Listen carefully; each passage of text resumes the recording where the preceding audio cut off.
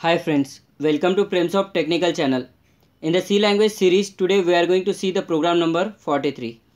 In this lecture, I am going to explain you about the pattern number 10. Today we are going to see this pattern. When n is equals to 3, we are going to print number in reverse order. Nothing but star, we are going to print the 3 star, 2 star and 1 star. So how to print this logic today we are going to see guys. So let's start with the Dev C++.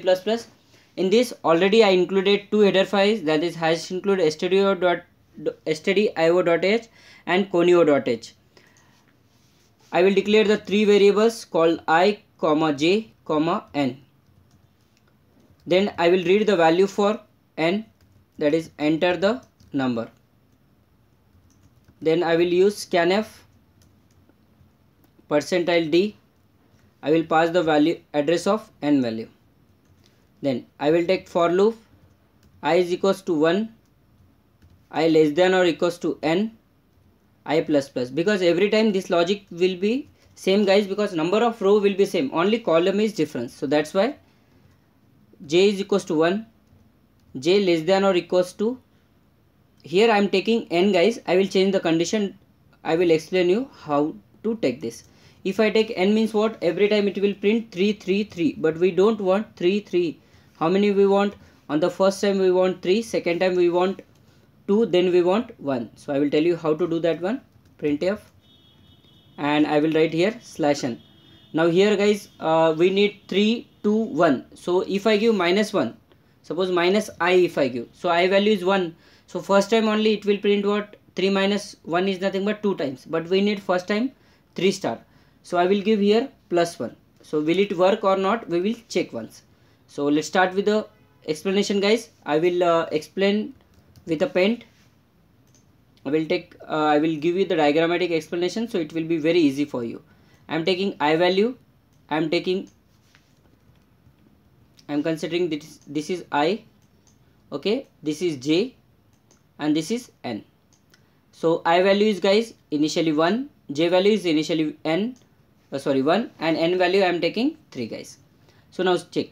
1 less than or equals to 3 condition true. It will come inside j value is 1 1 less than or equals to n minus i. Nothing but 3 minus 1 2 plus 1 nothing but 3 our condition is satisfied. So 1 less than or equals to 3 condition true. It will come inside it will print 1 star. Then value become j plus plus. J value will become how much? Okay i will just will increase the paint size little bit here.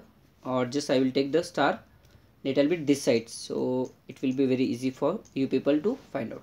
First time star. Again j plus plus j value will become what? 2 2 less than or equals to here the condition was 3 3 so 2 less than or equals to 3 condition true it will print the second star. Again j plus plus value will become 3 3 less than or equals to 3 condition true it will print one more star on the screen. J value will become what? 4 4 less than or equals to 3 condition false it will come out from this loop. Whenever it comes it will go to new line nothing but slash n is new line. Next i plus plus i value will become what? 2 again it will come inside. And whenever it comes as we know j value will become what? Again 1 so it will come inside.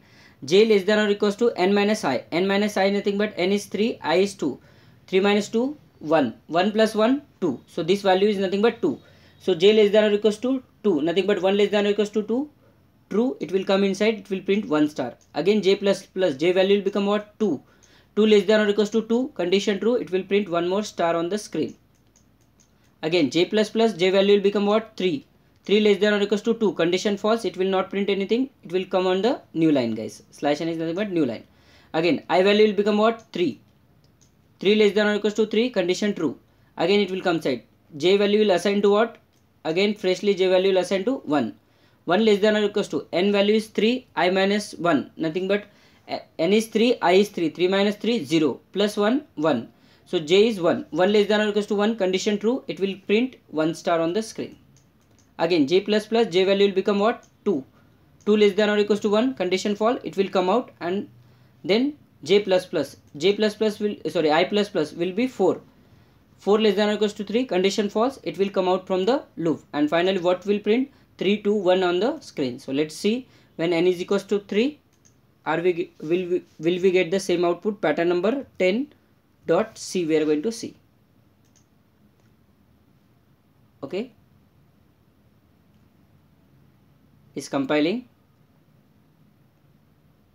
Now we'll see the we'll run the program and we'll give the value 3 3 to 1 fine absolutely fine guys. We'll give the some bigger number like we'll give 7 or 10 something. 10 sorry 7 it is absolutely fine. So you you take any guys. Even if you are taking 10 also there is no difference. Output will be same only. 10 to 1 so like this we can print this pattern guys. Hope guys you have clear your all the doubts regarding this pattern. Uh, if you are having any doubts please comment me or mail me. If you like this video please subscribe my channel for more videos. Thank you for watching this video guys